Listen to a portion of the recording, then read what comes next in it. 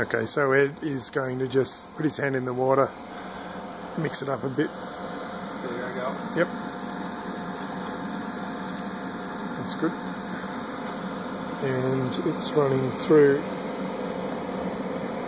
the multiplexes that Ed has just built and we're just testing now. So they all seem to be working alright. Straight off the bat, which is pretty cool. Well done Ed. フフ。